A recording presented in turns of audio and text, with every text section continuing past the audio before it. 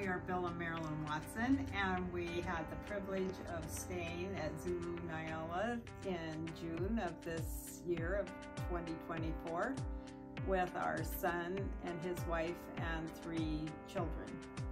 And we just want to say thank you for an incredible time and for how welcoming you were to us and the um, condition of the of the place was amazing. It was so um, well cared for and it showed in every aspect from great meals to um, the service that you gave us and we had great excursions out on the preserve and loved our driver Chris who took us for morning excursions from 6.30 to 8.30 and then afternoon ones to see the sunsets from 4.30 to 6.30 and we love seeing all the animals. Yeah, it was, it was a great experience. I mean, every day you saw different animals in the morning. Uh, you'd go out and when the sun was coming up, the giraffes were usually out to greet you and the Cape water buffalo. And I think the biggest thing that we, uh, I was surprised about was how hard it was to find the elephants. They are very good at hiding. The only thing um, experience is the sound of them ripping the trees apart to eat the roots off the bottom of the tree.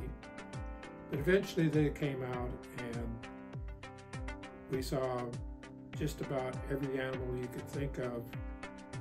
Uh, elephants, hippos, a, a whole whole bunch of different antelopes, uh, zebras, warthogs. Wart, yeah, there's plenty of warthogs.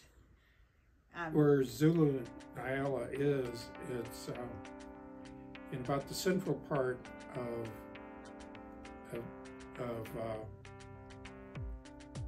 Africa, but up against the, the preserve's about 20 miles from the Indian Ocean.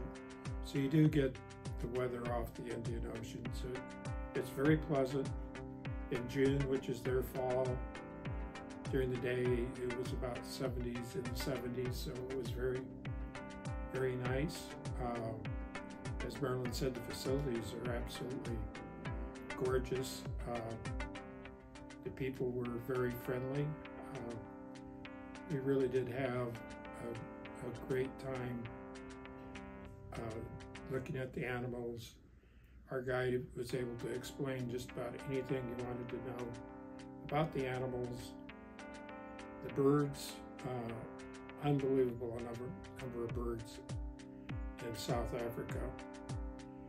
And so we we had a we had a great time and we would highly recommend it to anyone that was taking a trip. And there are a lot of preserves in that area that we got to visit um, besides the one that um, we were um, staying on. So those excursions were very meaningful as well and we learned a lot of things about the country as a whole. But the amazing thing was that um, that the drivers could see something happening a long ways off and we're able to drive to it and so we could get firsthand knowledge of um, the animals up close. So it was a terrific experience.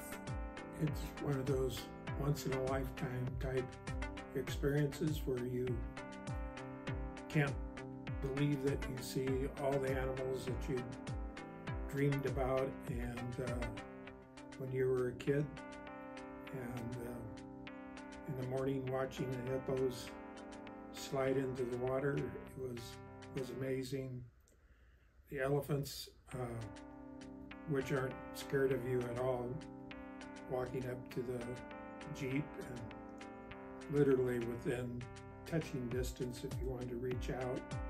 Not recommended, but uh, we had a great time.